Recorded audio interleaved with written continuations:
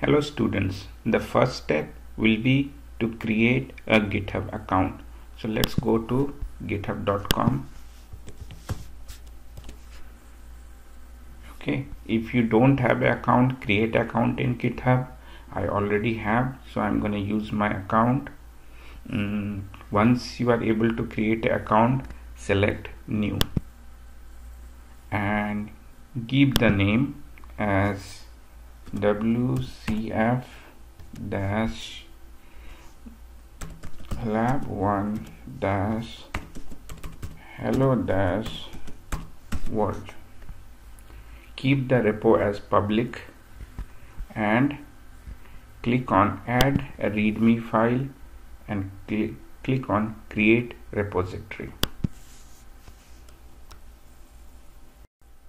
The next step will be to clone that repository to your local computer. So go to the place where you created the repo and click on code and copy this URL. Okay. Next, go to your computer and to the folder where you wanna keep all your WCF code. Mm, you need to install git bash. So I already have git bash here I will write the command git clone and the repo. Hit enter. So you can see we have already cloned the repo on our local computer. Next we want to install Visual Studio Community Edition. So we already have installed it on this computer but you can get it from Microsoft and install it on your computer.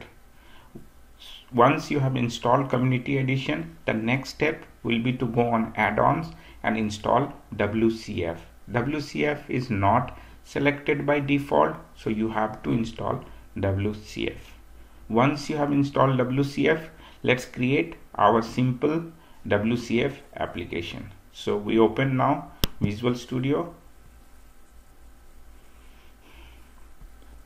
First step will be we will select create a new project and we will search here for WCF. You have to install WCF to get it. So we're going to choose this option WCF service application, a project for creating WCF service application that is hosted on IIS. So select click next. Now it asks for your project location. You have to put the same GitHub location what you created. So I'm gonna put and select. We will name the project as hello world and we will click on create.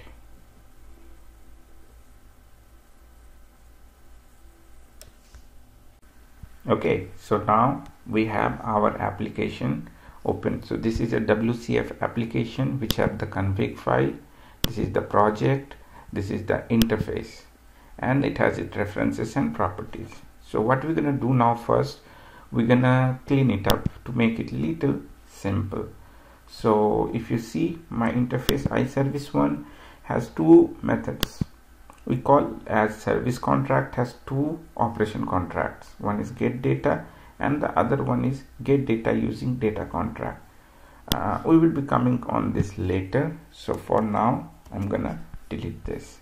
Similarly the composite body I'm gonna delete it for now okay so we have an interface now. The interface has one method called get data. It takes some integer and gives us a string. Perfect. Now let's go to its implementation. Now this is service one which implements it. So since we deleted this method we're gonna delete it here. So with this we have a simple WCF service. The service has what? The service has an interface.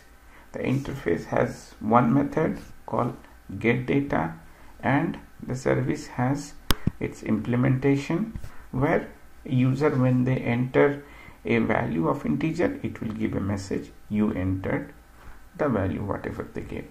Now next step. Next we're gonna build the application so we click on the folder and click build. If you see here the build is completed. Okay now we're going to create a client application to access this method. So we will click on the folder on the solution and right click and click on add. And we select new project the project we have to type here console.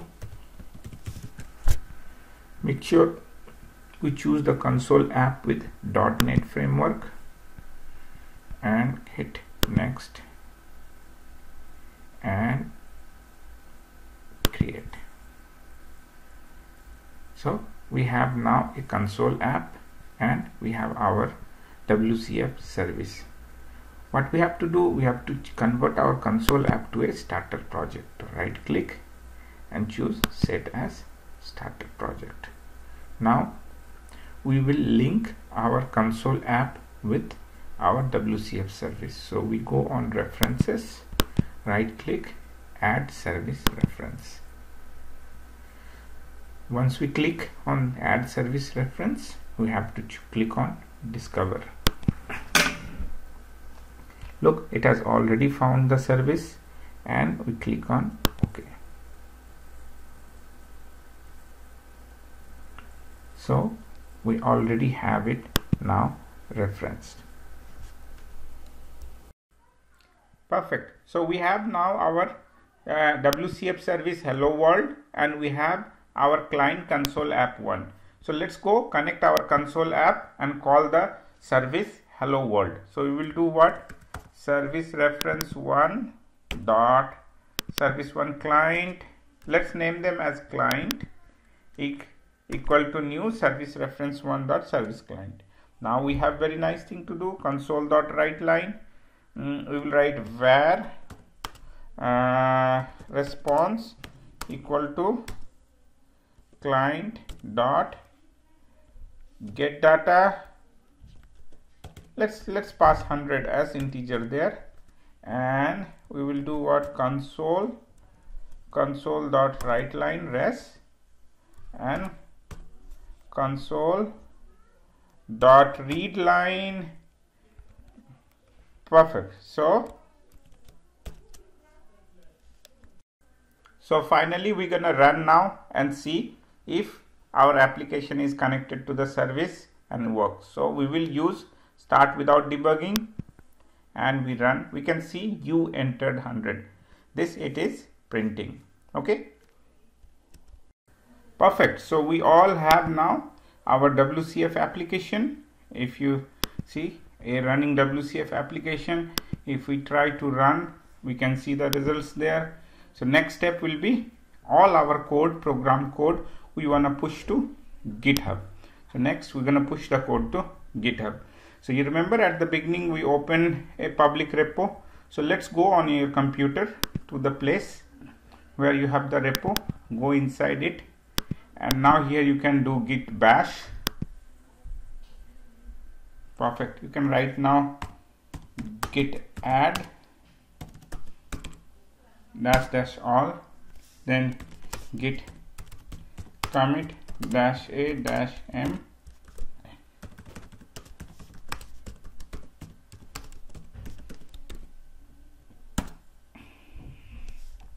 g git push so now your code has been pushed to github.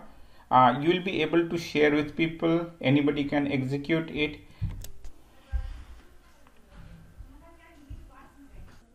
So this is all about how we create a simple WCF application how we connect to a client how we push the code to the repo. Uh, thank you for listening. If you have any doubts just message it on the teams channel